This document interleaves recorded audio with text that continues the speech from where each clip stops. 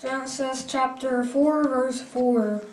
The Abel he also brought, brought, brought um, of the firstlings of his flock and uh, the fat thereof. And the Lord had respect unto Abel and to his offering.